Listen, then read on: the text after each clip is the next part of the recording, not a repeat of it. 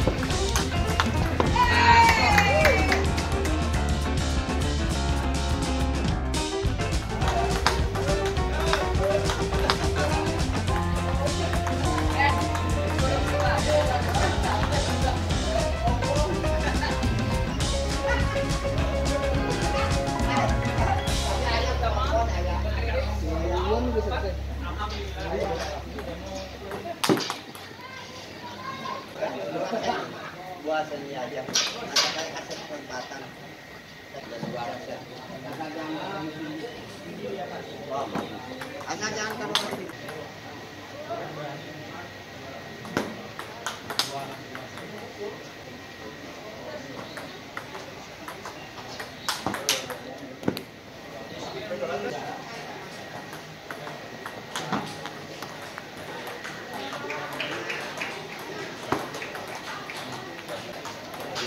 depan itu karena